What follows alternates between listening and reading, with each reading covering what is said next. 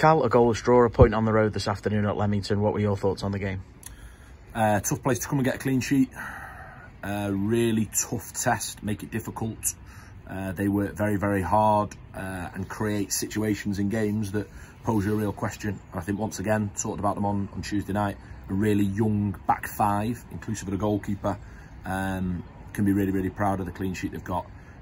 Neither side did enough to win it, uh, but I think it should have been a score draw, if that makes sense. I think both teams have had moments around the 18 yard box. Um, there's particularly two that I can I can really recall in the first half on, on second phase set pieces. And for us, I feel like we've worked two fairly decent opportunities, one right at the beginning of the game and one right at the end of the game, um, where what a save that is from the goalkeeper to deny Charlie Caton. For us, it's important we analyse our results as us and we have to reflect only on our own results and our own points target and our own situation. So results aren't good or bad because of anything else that happens around us. And in the same way, um, we've got to only reflect on our own performances. So would have wanted more from us today, I'll be honest. But what we got, um, we've got to be quite proud of in terms of the industry and endeavour. Uh, but I, I repeat what I said to you on, on Tuesday night. The next game's going to come around really, really quick. Um, Tuesday night, home game, tough opposition, different type of test. We've got to focus on getting ready for that. As you say, this away game sort of sat in between four home games with four wins coming into this as well. You've almost got a bit of credit in the bank where you can you can take this point and quickly move on. And there's a, a big opportunity to try and get back-to-back -back wins in these two home games coming up.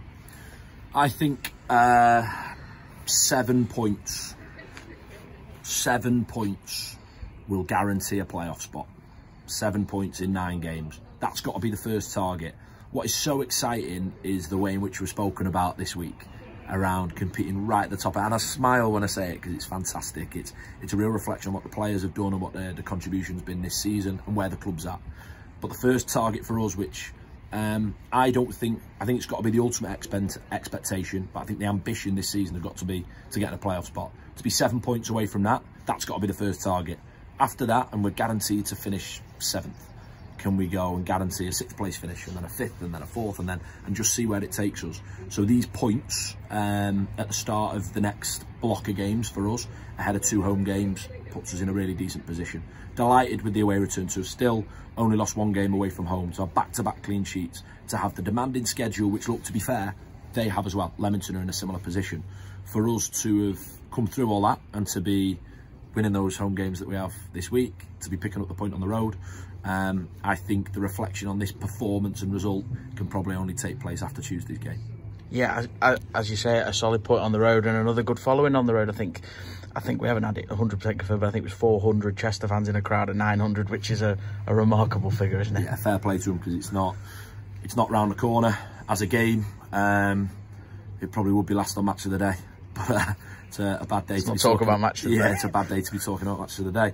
Um, it won. There won't be loads of highlights from it. Fair play to them. The the support that they have given the team at home, yeah, a lot gets made of had decent home crowds, and it's nice to see that that home following reinvigorated. Our away support has been magnificent, and I, I thought that the numbers, to be fair, at, at ten to three, I thought, wow, some have, have really turned out. And where I kick myself is you always want to reward them with three points, five star performances.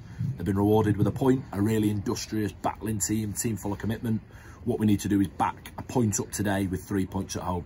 And if we can do that, I said it a couple of weeks ago, if we can draw and win and draw and win between now and the end of the season, we'll be in a really solid position. It's an exciting end to the season, really, really exciting end. We're in a brilliant moment and, uh, and long may that continue. But Tuesday felt brilliant and uh, you can get really excited. I didn't. I, I probably spoke in a really similar way to this and said it's all going to be about Leamington on Saturday. Get on the coach, reflect on what we need to reflect on from this game and everything that helps us try and win the game on Tuesday night.